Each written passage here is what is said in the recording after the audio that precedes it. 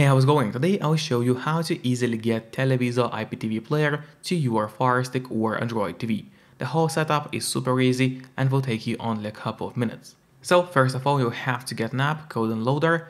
You can get it for free from your official Amazon App Store or from Google Play Store, depending on your device. This so will go to search, here it is, open the search, and there start typing Downloader.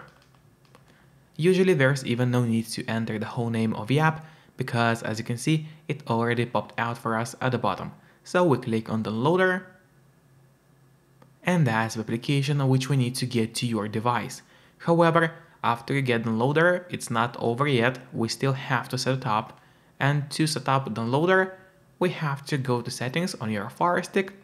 So here they are, click on that button with the gear icon, then scroll down and go to My Fire TV. Open it and here you have to enable developer options on your device. However, on some Fire Sticks and especially on the new ones, the developer options might be hidden by default.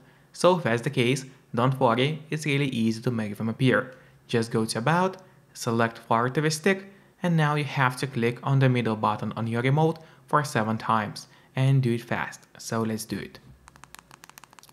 As you can see now at the bottom it says no need, you are already a developer. That's in my case. In your case it's going to say that you have become a developer now. And if you go back a bit, you will finally see developer options which have appeared right here. So open them, make sure to enable ADB debugging, then go to install unknown apps, and here turn that option on for the downloader. So what it does is going to allow us to install other applications from the internet and not necessarily only from official Amazon App Store. And that's exactly what we're going to do right now. So now let's go to the list of applications on your device. Here it is, let's open it. And here we already have the Downloader, which we just got to your Fire Stick. However, before actually using the Downloader, there's one more thing which I really recommend doing, and it's of course connecting to a VPN. In my case, I mostly use NordVPN, because they're super fast they got a great application for Fire Sticks or Android TVs, and they're not expensive for their premium service. In fact, it costs less than a cup of coffee per month, so it's super affordable. We use a VPN to stay anonymous and private online, and so nobody could track you or snoop on you. And it really helps you to stay out of trouble when watching something online or downloading some applications. And if you want to get a VPN, I've got a great offer for you. If you use my link, which will be in the pinned comment below this video, you'll get 4 months of NordVPN totally for free, which is an amazing deal. So go get those 4 months for free and then use the Downloader safely. Now let's finally open the Downloader application. On the left side menu, make sure to click on Home and then here in that search bar we'll have to type a link which you'll see on the screen in a moment. So here's the link, it's televizo.net. Make sure to enter the link exactly as you see on the screen because if you make any mistakes the link is not going to work properly and then click on go. Then a website is going to load, we'll have to scroll down a bit and there you see the download APK file button. Let's click on it and now the download of Televizo has started. Usually it does not take long. Click on install here in the right bottom corner and then after the app has been installed, do not press on open yet, instead click on done because here we'll have an option to delete the installation file as we don't need it anymore. So click on delete and then delete once again. Now let's finally go to the list of applications on your Fire Stick. So here it is, let's click on it, then scroll down, and here's the Televizo application which we just downloaded.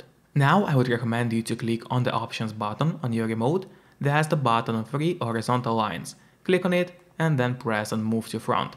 This way Televizo application is always going to be at the very top of your application list and it's going to be very easy to access it every time you need it. Then once again don't forget to keep your VPN connected to stay out of trouble online and you can get a great deal for NordVPN if you use a link in the pinned comment below this video. Then let's open the application. As you can see it says Televizo is only a player and does not contain any preset channels. So here to add a playlist you would need to click on the create playlist button and there you select to either add the M3U playlist or Xtream Codes. If you select M3U playlist, you would need to enter a name, pretty much any name that you can think of, and then add a link which was given to you by your service provider. or alternatively attach your playlist as a file.